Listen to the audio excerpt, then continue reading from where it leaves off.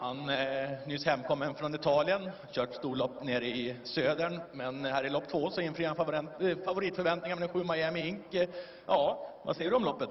Ja, han gick ett bra lopp. Det vart ett tufft lopp vart det. Eh, Jimmys häst kom upp och tryckte på och det vart en rejäl eh, duell hela sista varvet. Men han svarade ärligt och bra tycker jag, Miami. Så det var, det var kul. Kände du sista sväng att det här kanske går vägen eller blev du orolig?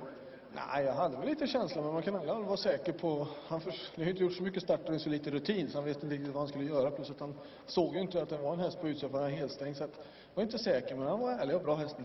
Ja, verkligen. Hur varmt var det nere i Italien? Eh, mycket varmare än här, det jag säga, men det var väl runt eh, 20-25 grader.